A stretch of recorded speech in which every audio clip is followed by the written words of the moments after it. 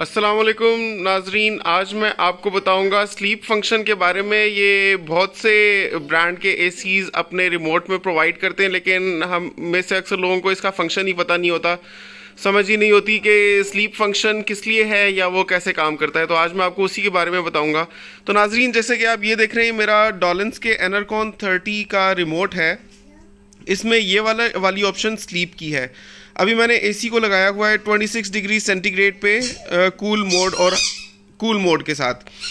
अब होता यह है कि हम जब सोते हैं तो अक्सर हमें रात में शदीद सर्दी लगने लग पड़ती है। सुबह में इवन डिसकम्फर्ट हो रहा होता है मतलब कि आप बेचैन हो रहे होते हैं, आपको सर्दी ज़्यादा लग रही होती है। उसकी साइंटिफिक रीज़न ये है कि जब आप सोते हैं तो आपकी बॉडी को ज़्यादा गर्मी की ज़रूरत होती है।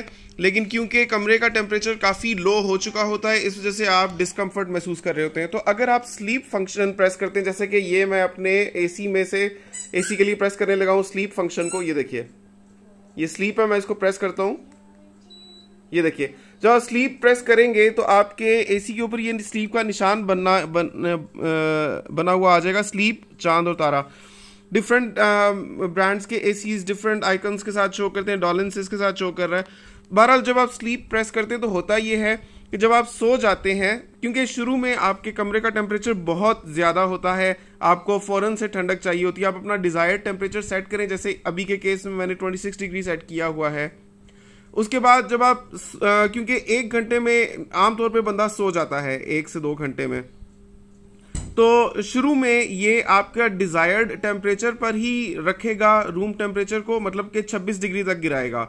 लेकिन आप नहीं चाहते, बल्कि आप शायद चाहते भी हो, लेकिन आपकी बॉडी नहीं चाहती कि सारी रात कमरे का दर्जा हरारत 26 ही रहे। क्योंकि उसमें फिर आपको इन द लॉन्ग रन ठंड लगने लग पड़ेगी। तो जब आप स्लीप फ़ंक्शन प्रेस करते हैं तो ये होता है कि जैसे एक घंटे के बाद एसी ऑटोमेटिकली 27 डिग्री पर सेट हो जाता है। उसके एक घंटे के बाद ऑटोमेटिकली 28 डिग्री पर सेट हो जाता है।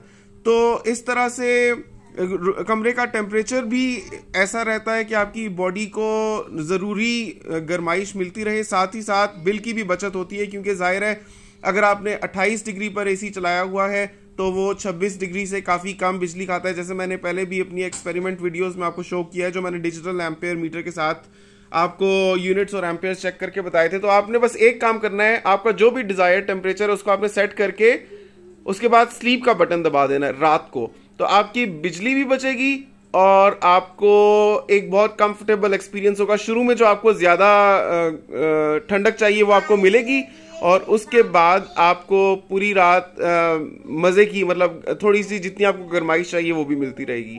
बस वीडियो को गैर ज़रूरी लंबा नहीं करूँगा। ज़रूरी बात आपको मैंने बता दी। आपको पसंद आई है तो इसको लाइक और शेयर ज़रूर कीजिएगा और एक अच्छा सा कमेंट करके मेरी हौसला अफजाई ज़रूर कीजिए आपसे मिलता हूँ अगली वीडियो में तब तक के लिए अल्लाह हाफिज़।